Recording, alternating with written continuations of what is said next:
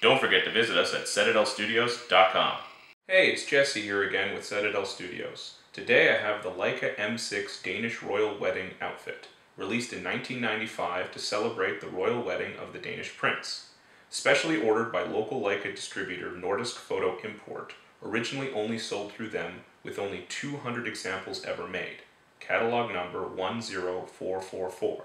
Comes with matching Summicron 35mm f2 fourth version chrome lens. Features a chrome finish with inscription on the top plate and a unique emu skin leatherette normally found only on the titanium finish M6s.